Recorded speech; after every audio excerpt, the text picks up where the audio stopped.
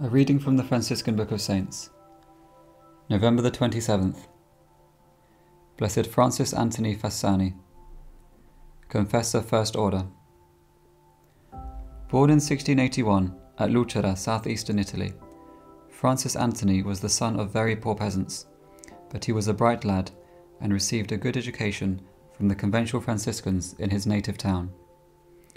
When he was 14, he received the habit of St. Francis among the conventuals, and in 1705 he was ordained to the priesthood. He was then sent to the Sacro Convento, adjoining the Basilica in Assisi, where St. Francis is buried, for the purpose of continuing his studies. Two years later, he received the doctorate in theology, and he was then appointed lector of philosophy in the college conducted by the conventuals in his hometown. He was promoted successfully to Regent of Studies, Guardian, and Provincial, which latter office he held from 1721 to 1723. After that, he served as Master of Novices and then as pastor of the Church of St. Francis in Lucera. A bishopric was offered to him, but he declined it. From the process of beatification, we learn that Francis Anthony was diligent in study, fervent in piety, prompt in his obedience to his superiors, devout in meditation, and most exact in the fulfillment of all his duties.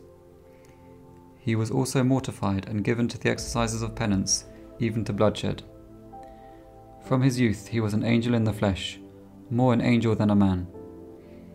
Among the devotions that he cherished, there were especially a tender love for the Immaculate Mother of God, a childlike affection for the infant Jesus, and fervent adoration, also night adoration, of the Holy Eucharist. Once, while he was absorbed in prayer, someone who happened to be in the church heard a voice saying, This priest prays much for his people. As a priest, he also became an eloquent preacher, a lover of the poor, a friend of the unfortunate. He was a missionary, a retreat master, and a Lenten preacher. For hours he would sit in the confessional, hearing and absolving the sins of his penitents, consoling the afflicted, warning the hardened of heart. He spent much time in visiting the sick, the orphans, and the imprisoned. As a pastor, he was a real father to his people.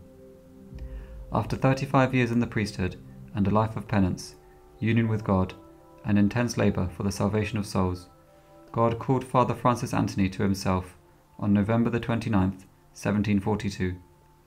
On that day, the people of Lucera came hurrying to the church of St. Francis, exclaiming, as did the children at the death of St. Anthony of Padua, The saint is dead, the saint is dead. And for 200 years since then, they have continued to kneel and pray at his tomb.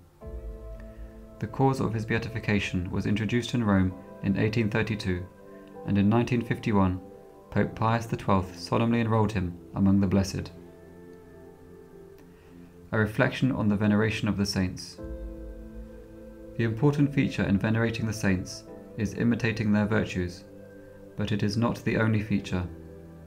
The saints deserve personal honour too, such as we give them by observing their feast days, adorning their images, extolling their virtues in sermons, singing hymns and reciting prayers in their honour. In honouring them, we honour God Himself, as the psalmist admonishes us Praise the Lord in His saints. Psalm 150, verse 1. Consider that the veneration of the saints will be particularly helpful to us if we confidently ask them to intercede for us. They are with God, they behold Him face to face, and as beloved children of God, they can do much for us poor sinners by their intercession. From personal experience, they know our needs and the many dangers to which we are exposed here below. Consider the powerful protection the saints procure for us. Their merits and sufferings, not seldom endured in a cruel martyrdom, plead to God for mercy and grace, as do the open wounds of Christ.